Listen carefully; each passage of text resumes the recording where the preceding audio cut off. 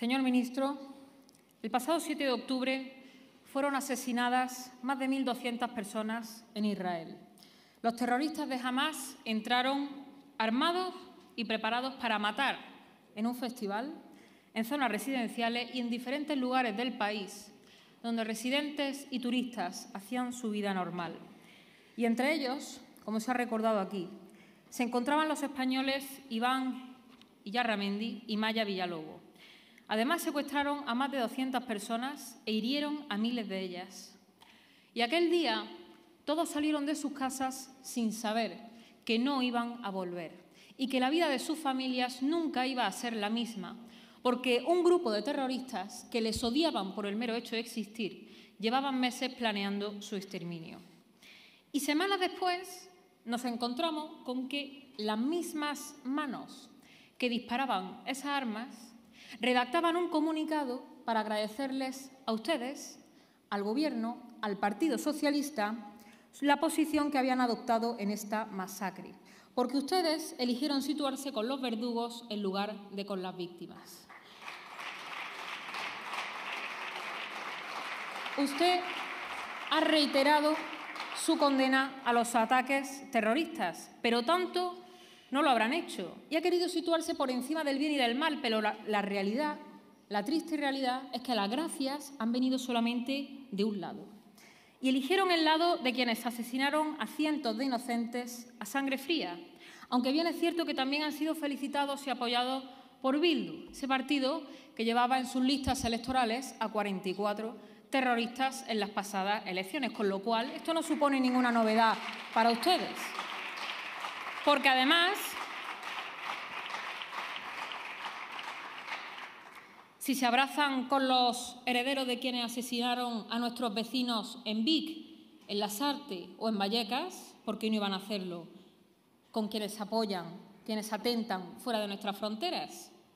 Entre las víctimas y los asesinos, ustedes siempre eligen a lo segundo. Y entre el bien y el mal, ustedes siempre eligen el mal, arrastrando el buen nombre de nuestro país hacia la excepción internacional, el señalamiento y la vergüenza. Y pocos días después,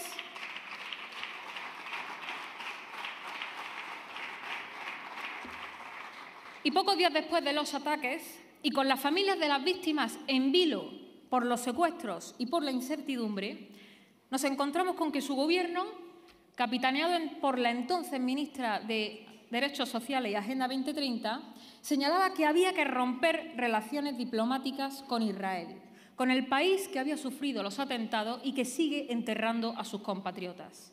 Pero no es una postura aislada, es la posición oficial del Gobierno, por mucho que ustedes, les repito, quieran situarse por encima del bien y del mal. Porque recientemente vimos cómo Sánchez calificaba de anécdota los vídeos grabados por los terroristas, unas imágenes en las que les aseguro que se puede ver con toda claridad y crudeza lo que allí ocurrió. Porque debe ser que al presidente del Gobierno le parece una anécdota que se asesine a una persona con un azadón, debe parecerle una anécdota que un terrorista entre con una granada de mano y la lance contra dos niños junto a su padre en su propia casa, o que cientos de personas sean asesinadas y violadas en un festival en el que entraron los terroristas con parapentes y fusiles. O le debe parecer también muy anecdótico que un agricultor descanse en su kibú y sea ametrallado mientras se encuentra en su propio sofá.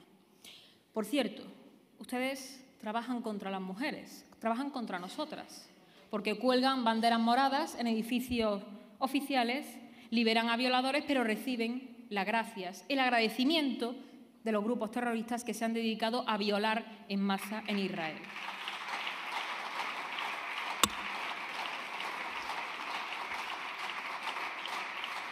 Señor ministro, yo también vi esas imágenes y no las vi durante 20 minutos, las vi durante 47 y le puedo asegurar que eso de anecdótico tenía bastante poco.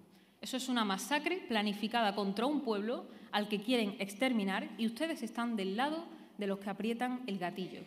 Mire, hay personas que buscan imponer su modo de vida y su cultura, personas que jamás se van a integrar porque no buscan integrarse y porque desprecian todo lo que tenga que ver con nuestra identidad y con nuestra forma de vida. Numerosos barrios de Europa son testigos de ello y no me refiero únicamente al goteo incesante de atentados que estamos padeciendo en suelo europeo desde el año 2015. Existe toda una sociedad, una sociedad paralela que está creciendo y se está desarrollando en nuestras ciudades europeas al margen de nuestra ley y de nuestra forma de vida. Y los primeros perjudicados de todo eso son los vecinos más humildes.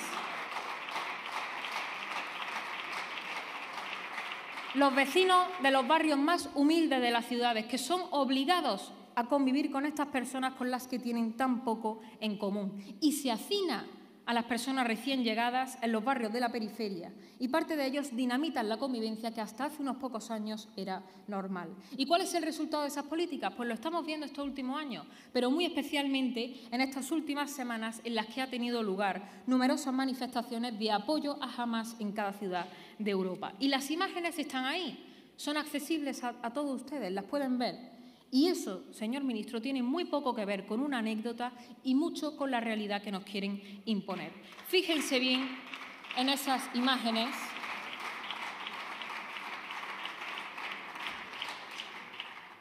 Fíjense bien en esas movilizaciones, porque es una representación muy viva del lugar al que quieren llevar a Europa.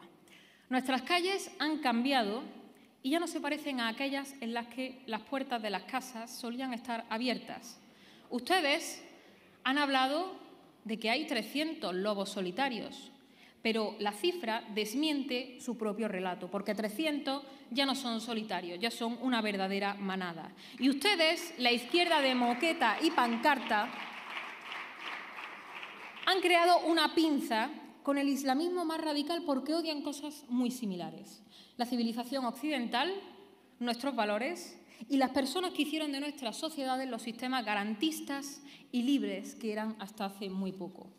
Y esta deleznable postura que mantienen desde el Ejecutivo compromete el nombre de nuestro país y las relaciones con Israel. Un país que ha retirado temporalmente a su embajadora debido a la actitud que han manifestado ante un asunto respecto del que no cabe ponerse de perfil, pero mucho menos cabe ponerse del lado de los asesinos. No es que Sánchez sea rehén, de su socio, ustedes no son rehenes de su socio, ustedes comparten sus mismas ideas y por ende actúan en consecuencia. Y si mañana ustedes necesitaran los votos de Hamas para una hipotética investidura, no me cabe la menor duda de que ustedes amnistiarían a los que entraron a masacrar la vida de decenas de inocentes.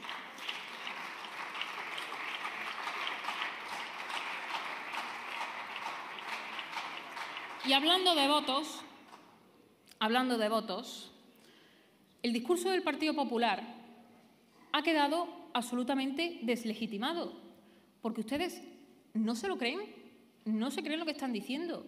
Y si se lo creyeran, con el PSOE ni a la vuelta de la esquina. Y no se pactan comisiones ni presidencia con el partido que está dando un golpe de Estado, con los separatistas que se han abstenido para darle presidencia a los amigos de Hamas, a sumar, y no se lo creen. Y muchos españoles, especialmente sus votantes, no pueden entender esta actitud. ¿A cambio de qué? ¿De un suplemento? Todos los meses. El rechazo a Sánchez debe manifestarse en los hechos y no en las pancartas ni en los eslóganes cocinados. Ya se lo dijimos, no vale manifestarse los domingos y luego repartirse la tarta en las instituciones. Señor ministro, se lo digo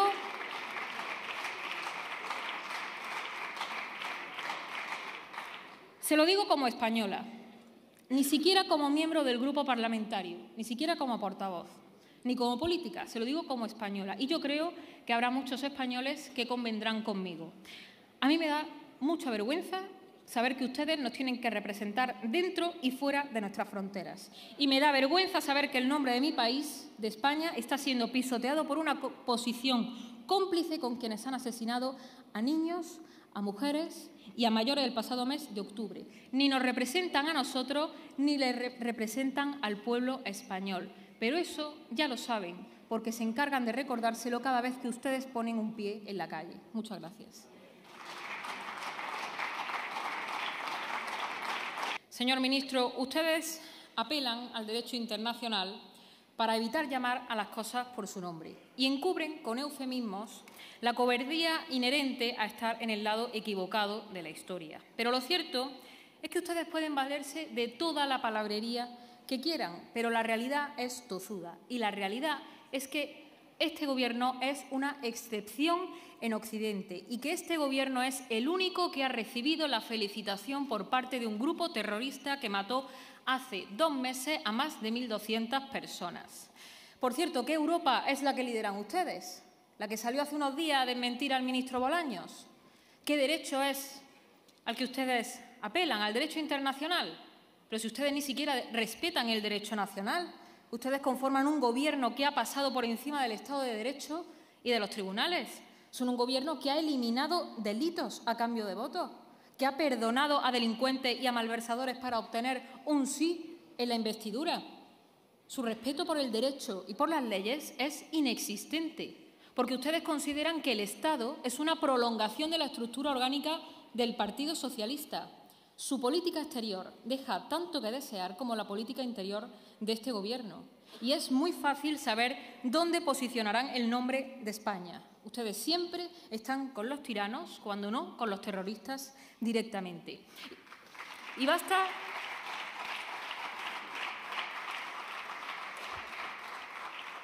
Y basta con hacer un repaso por los países de Hispanoamérica para comprobar cómo ustedes siempre están del lado de los tiranos que oprimen al pueblo.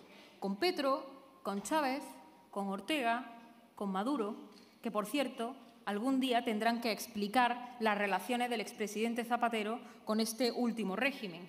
No es preciso detenerse en los detalles para señalar que el Partido Socialista es cómplice del terror, porque su postura avala y legitima los ataques terroristas del 7 de octubre. Y los violadores que han violado en masa en Israel les han dado las gracias. Y con todo y con eso ustedes saldrán el 8 de marzo a ponerse los primeros en las pancartas. Por cierto, ustedes se ponen muy estupendos Usted se ha puesto aquí muy estupendo diciendo que ha aprobado una ley para la paridad.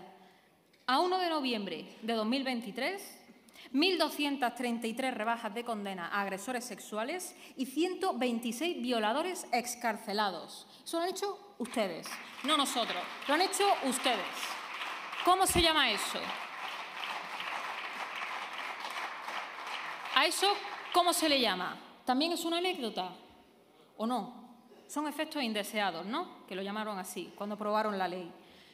Mire, Vox está con la civilización, contra los terroristas, por los valores de Occidente y apoya a quienes se defienden de la barbarie. Apoya a quienes sufren los tiroteos y las cuchilladas. Y nosotros les señalamos a ustedes como colaboradores, porque no solo se posicionan con los terroristas allí, aquí están generando ustedes un efecto llamada muy peligroso y se dedican a estigmatizar a quienes advertimos de las consecuencias que tiene la inmigración ilegal masiva. Y hoy España tiene en el interior de sus fronteras, y esto lo ha, confirmado su Gobierno, a 300 lobos solitarios que con los medios disponibles están dispuestos a atentar contra nuestros compatriotas en Barcelona, en Sevilla, en Madrid, en Asturias. Y su Gobierno ha hecho bandera de la política de puertas abiertas. Y hoy España es un lugar mucho más peligroso que hace una década y lo sufren muy especialmente la gente más humilde. Y las brutales imágenes tomadas en Israel y que todos nosotros pudimos ver no están lejos de convertirse en una realidad aquí en España. Y París es el último ejemplo de ello. La barbarie, señor ministro, también llama a nuestras puertas y llegará un momento en el que ustedes no puedan ocultarlo por más eufemismos o mentiras que se empeñen en soltar a los españoles. Muchas gracias.